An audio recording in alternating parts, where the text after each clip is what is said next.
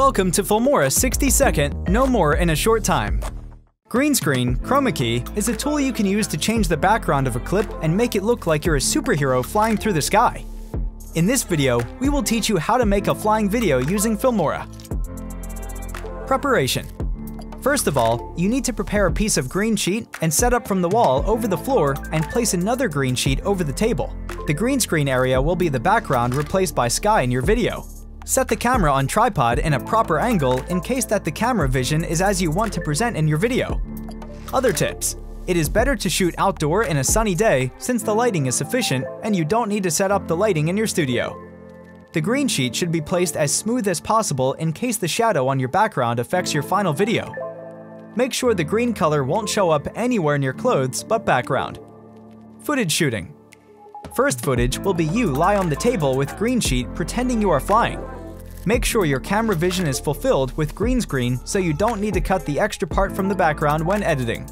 Second footage is the sky scene, which will be used to replace the green screen background. You can also find the sky footage in Filmora stock media for free. Video editing. Download Wondershare Filmora by clicking the link in the info box. Hit the free download button. Once you finish the installation, we can start the editing part. Step 1. Launch Filmora program. Import your footage in your library.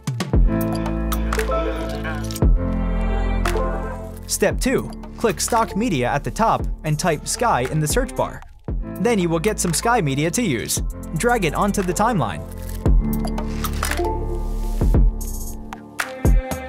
Step 3. Drag your green screen footage on the track above the Sky footage. Double-click the green screen footage to open the editing panel. Step 4.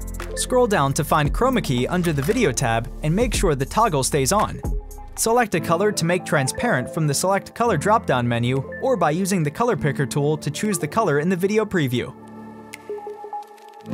Step 5. You can fix the outlining of the object by resting edge thickness parameter to achieve the ideal effect. You can also adjust the color of background through changing the offset value. Step 6. Check out the preview before you export the video by rendering file in a sec.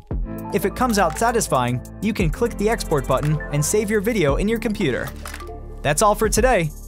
Please try yourself to make videos by following this tutorial and leave the comment how it works. If you're interested in more useful content, check out filmora.wondershare.com.